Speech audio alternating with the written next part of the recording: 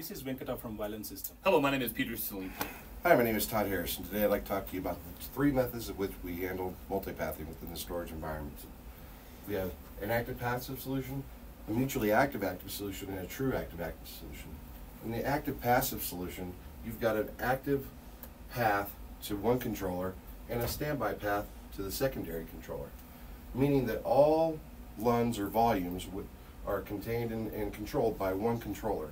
In the event of a path failure, you have a lose a path due to an HBA failure, network connection, some some sort of uh, infrastructure problem.